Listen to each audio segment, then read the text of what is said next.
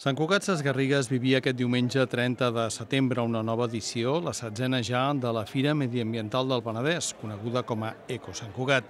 Els actes havien començat amb una bicicletada fa dos dissabtes, la conferència de Gaspar Hernández sobre les claus de la salut emocional el divendres i la mostra audiovisual de Medi Ambient el dissabte, però el gruix de les activitats tenien lloc el diumenge amb la presència de multitud d'estants i expositors, tallers, conferències, jocs per la canalla, una caminada i propostes gastronòmiques. L'alcaldessa de Sant Cugat Sesgarrigues, Montse Albet, destacava la consolidació de la fira i el fet que cada cop arriben visitants de més lluny. Valorem molt favorablement eh, la Eco Sant Cugat, Primer per la seva maduresa, després per tota l'afluència de població que ve, tant del municipi com de la comarca, fins i tot de la Noia i del Garraf, Um, I també perquè cada vegada mm, hi ha més convenciment, uh, es preveuen canvis a nivell normatiu per tema d'energies alternatives i per tant necessitem contínuament posar-nos al dia i fer un reciclatge permanent de, de tot el tema que és la sostenibilitat mediambiental. Albert recordava que la Fira Mediambiental del Penedès va néixer arran de l'incendi del bosc de la Font del Cuscó. La fira va sorgir quan vam veure que el bosc que, que tenim al davant del municipi, que forma part del terme municipal, que és la Font del Cuscó, es va cremar. I van prendre tothom molta consciència de la necessitat de preservar eh, tot el tema del que és els arbres i les masses boscoses i la necessitat doncs, d'anar doncs, preservant i fer molta prevenció sobre tema tema de medi ambient. Si va, va començar pel tema de boscos, veiem que la, la sostenibilitat mediambiental té una visió molt més global. I per tant, hem de ser tots i cadascun de nosaltres que amb el nostre exemple i les actituds i els petits gestos de cada dia tinguem, anem treballant en aquest sentit. L'Eco Sant Cugat és una fira mediambiental amb un clar component educatiu i pedagògic que cerca el binomi de la informació i formació per una participació activa dels visitants. A través de tallers, xerrades, conferències, estants del sector públic i privat i les diferents activitats que any rere any es van programant, l'organització de la fira treballa per augmentar el nivell d'eficàcia educativa i de motivació en les bones pràctiques envers el medi ambient.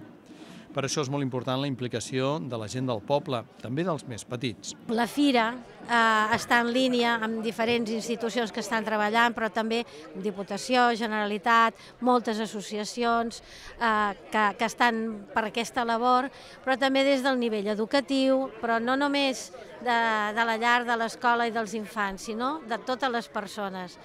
Per això també sempre hem intentat que aquesta fira tingui un àmbit molt familiar també, perquè vinguin les famílies i que, que vagin ampliant els seus coneixements, sensibilitzant-se i que dintre de l'àmbit de la llar i els petits gestos de cada dia incorporem actituds més saludables i més respectuoses amb el medi ambient. Aquestes activitats són obertes a totes les edats i amenes per aconseguir una educació fàcil en un tema prioritari com és el de la preservació del medi ambient i la lluita contra el canvi climàtic però sobretot que sigui molt vivencial i a través de petits exemples i petites vivències que es puguin anar despertant. Tot en sentit de que la persona se senti millor, el fet de que se senti millor mm, amb el seu entorn, amb si mateixa, també sigui més respectuosa amb tot el seu entorn, la família, els amics eh, i el planeta global en el que nosaltres eh, estem immersos. El diumenge les persones interessades van poder participar en diversos tallers, alguns dels quals estaven vinculats a l'anomenat Espai Salut, on es poden trobar teràpies alternatives per millorar el benestar de les persones. La Ruth Reventós, per exemple, oferia la seva tactoteràpia basada en abraçades, carícies i mirades. Mira, l'abraçada en primer lloc genera oxitocina i l'oxitocina és, és, un, és una hormona de la felicitat, de la pau, de, de l'harmonia, del sentir-se bé ens abracem molt poc. Eh, realment és eh, trist que tinguin que fer un taller d'abraçades, tindria que ser alguna més natural, però eh, mica en mica hem d'anar eh, introduint l'abraçada no només en l'àmbit familiar, sinó a nivell general, de, de proximitat, de contacte, de relacionar-se amb l'altre. Hi ha un baix nivell d'educació sexual en general no? i emocional també, però eh, vivim en una societat que aparentment és molt moderna, però a nivell sexual encara ens costa molt. No és un tabú la sexualitat en la societat en què vivim actual. I la carícia, el contacte, la proximitat té una connotació sexual i és, ens costa. També hi havia la possibilitat de fer un taller de risoteràpia amb la Fina Belda, que explicava la importància de riure per sentir-se millor. Normalmente eh, la, la, que olvidamos es la risa corporal, que es la risa que tiene el bebé cuando nacemos, nos reímos y es una risa que hay una vibración en todo el cuerpo y esa vibración es muy sanadora. ¿Qué pasa? Que según vamos creciendo, vamos como quedándonos muy rígidos, apretando así todo, esto no se dice, esto no, qué vergüenza, y entonces todo eso se bloquea. En los talleres lo que conseguimos es que haya un movimiento, es todo con, con el soltar el cuerpo, soltar tensiones para que esa risa haga esa vibración tan sanadora para, para nosotros. Pues bueno, nos ayuda primero a tener una visión mucho más positiva ante la vida, eh, físicamente simplemente el hecho de sonreír hace que empuje unos músculos donde el cerebro le engañamos un poquito cuando estamos tristes, hacemos simplemente este movimiento y segrega endorfinas y de esta manera ya esa endorfina nos hace estar un poquito mejor. A banda dels tallers, una de les zones més concorregudes és l'espai d'expositors, on entitats i empreses porten els seus productes. En aquesta ocasió s'hi podria trobar des d'alimentació productes de cosmètica i medicina natural, passant per energies alternatives, per posar alguns exemples. L'Antoni Lluc, propietari del molí d'oli de Cala Madrona, és un expositor habitual a l'Eco Sant Cugat. Nosaltres eh, tenim un molí d'oli de fa molts i molts anys, que ja ve del meu pare, i el que fem és l'elaboració d'oli d'oliva extra verge, tant amb el sistema tradicional, perquè encara fem funcionar el molí de pedres, que, tal com es feia l'oli abans, com amb el sistema modern de dues fases o ecològic, que és el sistema actual que fem servir.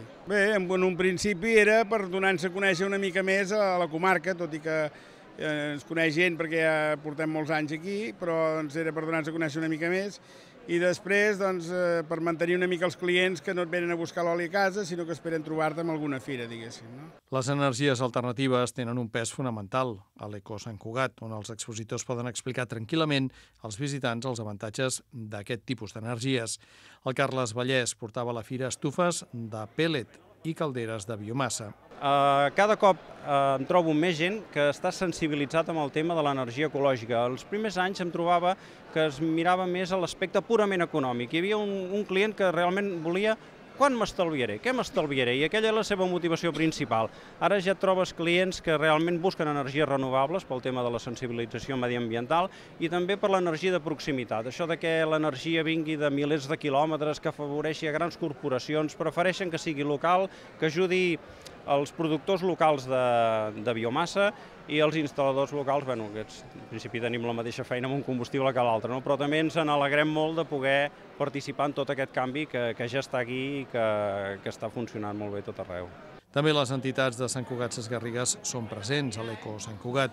La Societat Coral El Raïm, a més, està preparant el seu centenari. Tota la gent del poble hi ha estat més o menys involucrada, gent nova, i a banda de la coral sempre s'han realitzat activitats eh, de nivell bueno, culturals pel poble. Es va fer teatre, també hi havia una aula, bueno, hi havia un... I les primeres emissions de televisió també es van fer podien fer-se des d'aquí a la Coral, de l'espai que tenien, i després van fer crear seccions infantils i d'instrumentals. De fet, eh, des de la primera edició que vam fer, sempre ens han proposat a les entitats de col·laborar-hi, cadascuna aportant doncs, una miqueta d'activitats que hi fan, algun any s'havien fet tallers d'instruments, aquí també, i últimament doncs, el que fem és per exposar l'anuari que fem cada any i, una, i també és una mica el punt d'informació pels pares que volen apuntar els seus nens a activitats aquí. Diumenge, l'afluència més gran de visitants es va fer esperant coincidir amb les moltes activitats que s'han celebrat a la comarca per commemorar el primer aniversari de l'1 d'octubre, però tot i així els expositors en feien un balanç positiu. La Marisa Garrido portava a la fira productes de cosmètica i medicina natural. Nosaltres fa cinc anys que venim a l'Eco Sant Cugat i estem, la veritat, molt contents. És una fira que jo sempre dic que m'agrada moltíssim de treballar, vull dir, ve un bon públic, sempre molt obert a, bueno, a explorar, a conèixer i d'altres clients que ja ens visiten cada any perquè repeteixen el producte. I la veritat és que l'experiència és magnífica. Seguiment de la gent, heu vist molta gent, poca, també és cert que estem a prèvia d'1 d'octubre, també hi ha hagut molts actes, no? Mira. Em comentaven que, que potser el matí ha costat una mica. Eh, ha costat una miqueta, però a partir de quarts d'onze o d'allò llavors ha començat, suposo que ha acabat la caminada també, ha començat a venir gent, però igual una miqueta baixada respecte a l'any passat, però bueno, també hi va haver la manifestació l'any passat i aquests dos últims anys s'ha notat una miqueta, però bueno, amb tot això sempre un balanç, jo faig un balanç positiu, eh? I sempre és una fira doncs, molt interessant, a mi sí que em sembla. També hi ha altres parades que, que no han sigut altres anys i bueno, altres que repeteixen, això també, també vol dir alguna cosa, no? un interès. Entre els visitants hi havia qui repetia, però també qui s'hi acostava en aquesta fira per primera vegada, com la gelidenca Maria Carme Creixell. Home, perquè sempre hi ha d'anys i això de sentir-ho, i potser hi podria anar, potser hi podria anar, i mira, avui, pam, allò de... Què és el que hi venen a veure? Fer una mica de tomet, a comprar-hi alguna cosa? Home, sí, alguna coseta han comprat i després donar una volta per mirar, veure tot el que hi ha i tot el... I repetirà l'any que ve? Home, potser sí, potser sí. I vindré més d'hora, eh? La fira ha mantingut el seu esperit familiar, amb molta participació dels més petits. També hi ha hagut un mercat d'articles de segona mà i una jornada de transformació del pati de l'Escola Les Vinyes.